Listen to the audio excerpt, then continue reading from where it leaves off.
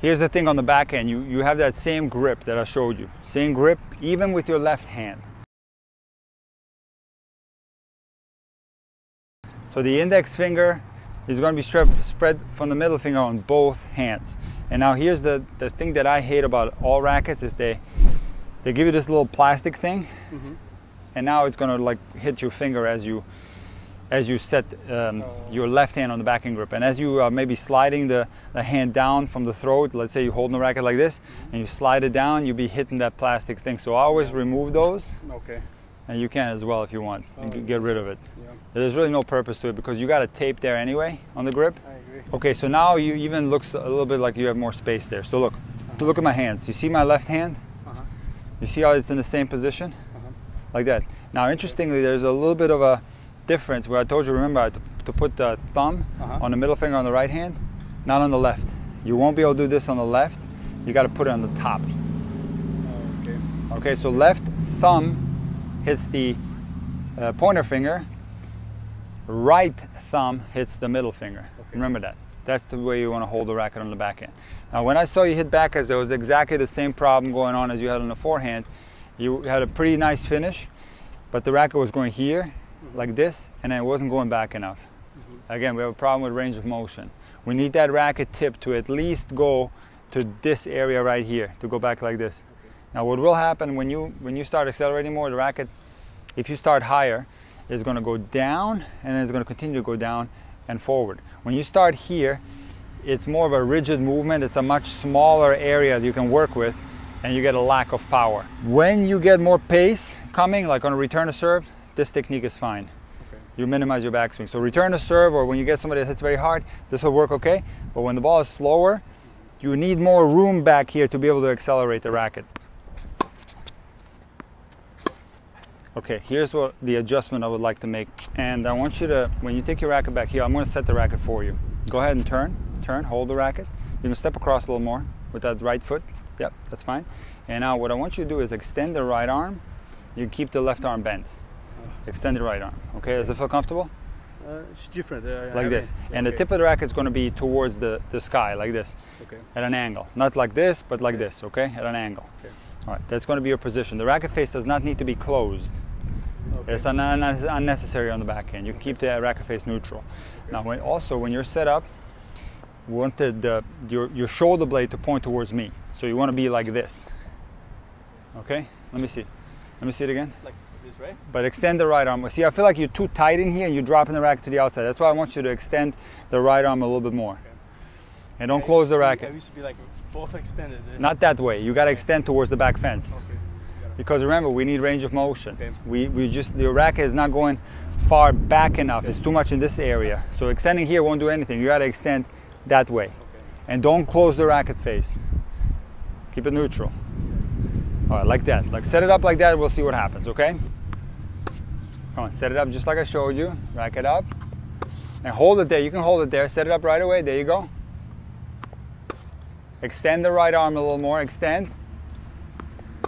You're doing a little thing there. You're extending, and right when the ball when the ball bounces, you go like you do a little uh, your little thing here. You know, just keep the racket there. Okay. Keep the racket there. Okay. Extend the right arm more.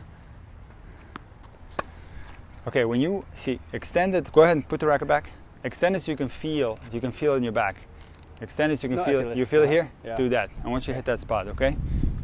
We need that extension. Your favorite player, Djokovic, that's how he takes it back. There we go. There you go. Feel it in the back. Come on, feel it in the back.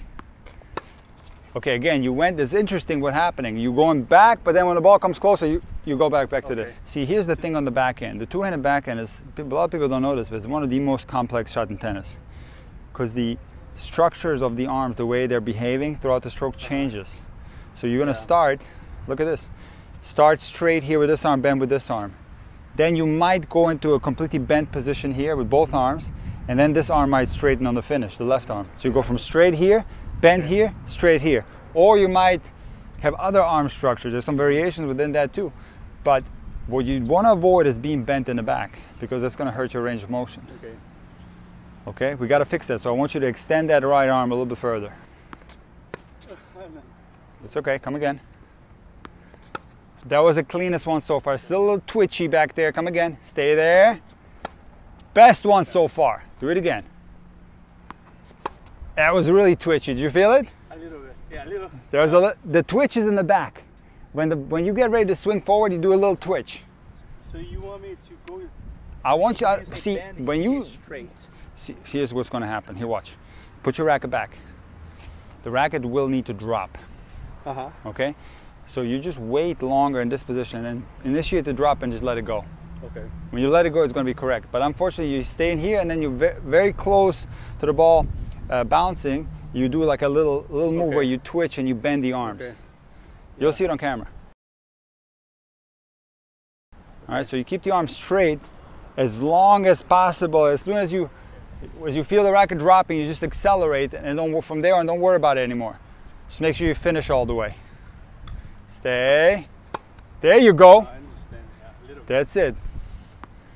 It looks almost like a Lleyton Hewitt backhand. You probably don't know who Lleyton Hewitt is. Little twitch there again. Come again. It's not bad. Here we go. Back. Come on. Take it back as far as you can. Come on. Extend the arm. There's still a little twitch there. Come again. Yes. I love that one.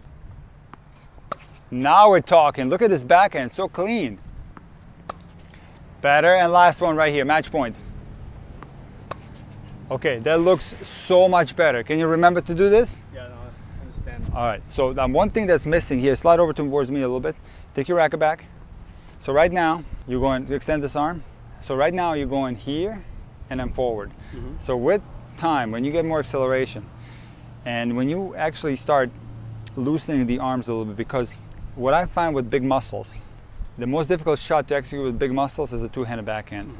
Do you feel like sometimes tight, in here? yeah. You do feel it.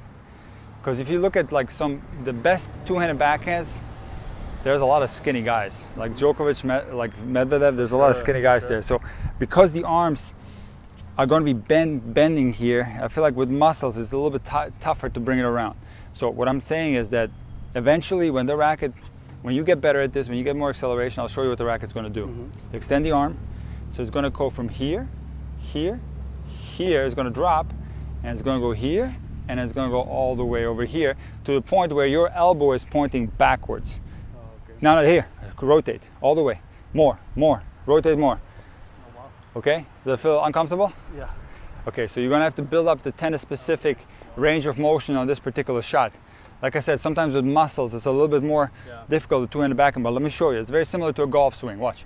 Racket's gonna go here, mm-hmm. here, here, mm-hmm. and now it's gonna go here, and now watch this. Here. You see this? Elbow all the way back. My chest is now pointed here. So I started from here and I ended up here. That's a two-handed backhand. Your backhand, unfortunately, just like your forehand, often before it was going from here and then stopping here, and the arms were kind of taking over like this. So we're gonna, it's gonna get a lot better, okay? But the step one is we have to fix your your take back. Okay, I didn't like that backhand. You see, went to back to the old way. It was like this here. Extend the arm more. Extend. There's still a little twitch back there. Keep the arm more straight like this, okay? Straighten it. More. Straighten the right arm more. Better, yes. Get the racket further back. Come. See, this is not enough. I want the racket to go towards the back fence, okay? Better. Better. Now let me see one where you rotate a little more. You get your right elbow towards the back fence like this. Right elbow towards the back fence. Get the racket pointing straight towards the back fence like this. Better. More. It's not enough here, it's here. Come. Good again. Come on, all the way back. Better. Way better. Much, much better. Very good.